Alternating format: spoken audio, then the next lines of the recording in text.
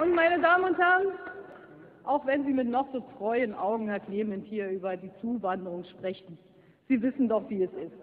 Die Menschen im Lande wissen, dass Ihr Gesetz eben keine Begrenzung von Zuwanderung bietet. Und die Menschen im Lande wissen, dass Herr Schily am Anfang dieser Legislaturperiode gesagt hat, einen Satz, den hätte ich gar nicht gesagt, regen Sie sich doch nicht auf.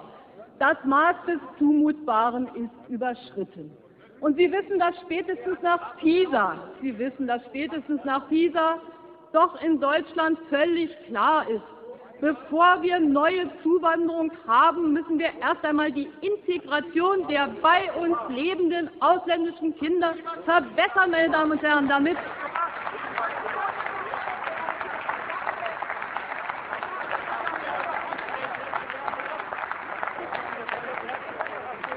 Sie haben keine einzige Mark vorgesehen, um das Problem zu beseitigen, dass hier in Berlin-Kreuzberg 40 Prozent der ausländischen Kinder und Jugendlichen weder einen Schulabschluss haben noch einen Berufsabschluss. Und dann, trotzdem reden Sie über mehr Zuwanderung. Mit uns haben Sie die Alternative.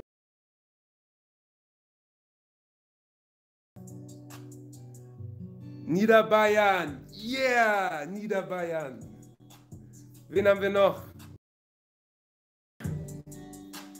Sagen, wir sind rechtsextrem, obwohl sie unsere Rechte nehmen.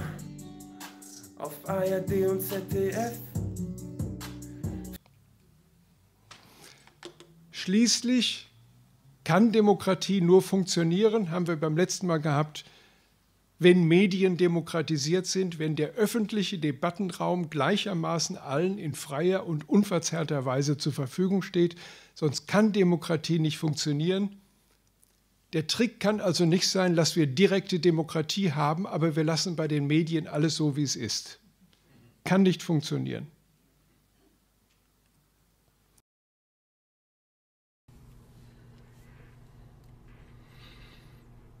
Mein Entschluss aber ist, dass ich mit allen Mitteln, die mir zur Verfügung stehen, mein Recht auf freie Meinungsäußerung bis zum äußersten praktizieren und verteidigen werde. Für mich spielt es keine Rolle, ob ich dabei eine Aussicht habe zu gewinnen. Für diese Freiheit der Rede die Freiheit, die, wie Orwell sie definierte, wenn sie überhaupt etwas bedeutet.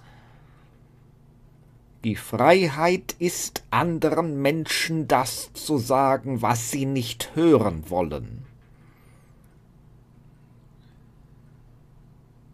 Diese Freiheit wurde von vielen Generationen von Freiheitskämpfern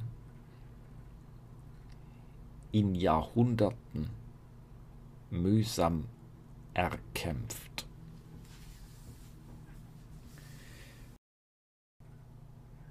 Denn viele, die guten Zielen folgten, haben in der Menschheitsgeschichte schmählich verloren. Aber sie waren die leuchtenden Beispiele für die Menschen, die nach ihnen gekommen sind die ihnen Mut und Zuversicht gegeben haben